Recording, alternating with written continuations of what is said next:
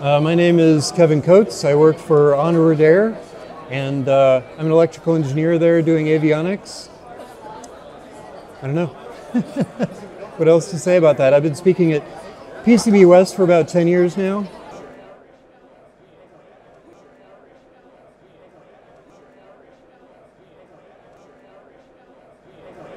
Yeah, so you know, heat management is all about spreading out the heat. If you have a lot of heat in a tiny area, even 100 milliwatts of heat can be way, way too much. But if you spread out that heat, 100 watts of heat over maybe 200 square inches is not that big a deal. So it's all about spreading out the heat. That's really what heat management is. So if you talk about processors, uh, you're talking about heat sinking of some sort, and you have to figure out on that processor where the heat is coming from. Most processors will require some sort of thermal interface material on top the chip, and then you're going to want to put some sort of heat sink. Hopefully you don't have to have a fan. I don't like fans in general because they can fail and they bring in a lot of dust.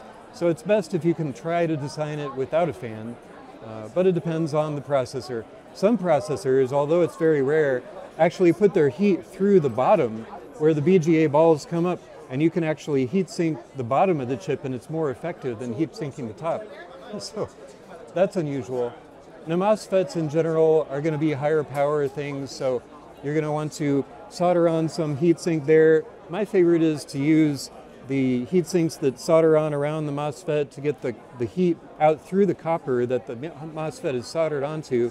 And then that uh, heat sink rises up above the board and then gives a much bigger surface area to cool that. And really LEDs are kind of the same, uh, especially if you can use like two ounce copper or the really thick copper to spread the heat out as much as you can.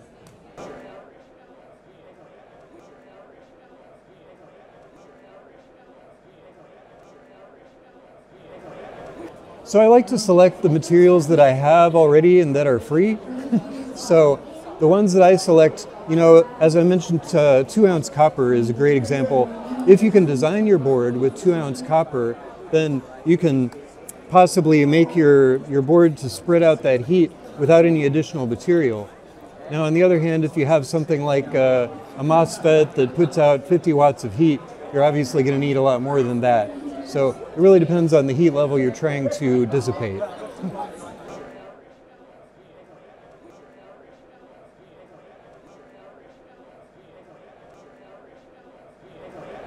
Sure. So as I mentioned, heat management is really about spreading out the heat as wide as possible. So, uh, so one way of doing it is putting the, the heat dissipating things in the middle of the board or actually really spreading them out across the board is probably even better. It depends on if there's one or many components that put out a lot of heat. So for example, a mistake that I made in the past was I put MOSFETs in the corner of the board and that really limited how much area I had to spread out that heat. So I would avoid putting them around the edges unless of course you're trying to get to a heatsink on the edge of the board.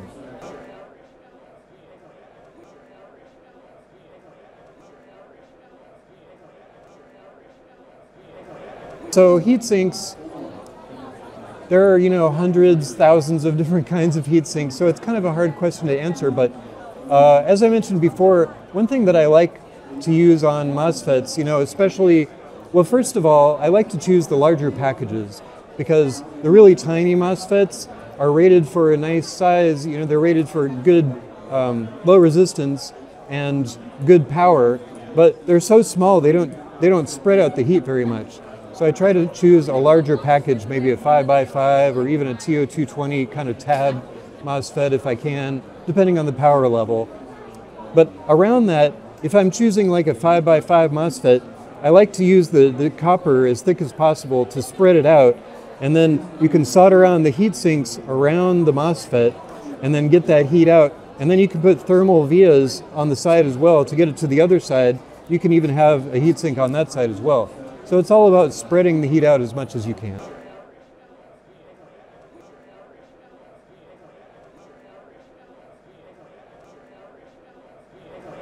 So high power really runs two problems. One of them is heat, obviously. Uh, heat is going to be something you're going to have to manage with a heat sink or something like that.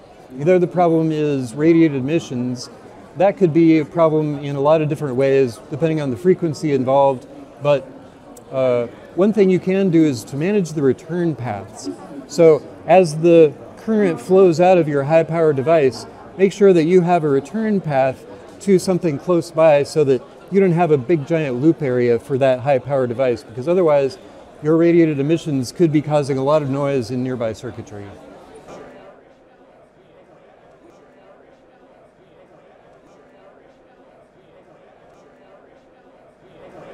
Well, because I want them to. the other part is if you know about heat management, if you work with any kind of heat, and when I say heat, I'm talking about things that put out maybe two watts or more of heat, uh, you really need to know some things about spreading that heat out. How to do it with copper, how to do it with free things that you can do on the board. And the other part of it is signal integrity. You really have to understand that just to do really almost anything these days. Understanding both of those things is going to make you a more, I guess I would say, a better designer, but also you're going to be a more valuable designer to your company. So it's really great for your career. I talked to two major companies in the last month, and they both desperately needed a signal integrity guy. So I was I was thinking, you know, a lot of people don't know about this stuff, so it's it's very important to know it, and if you do know it, you can be extremely valuable.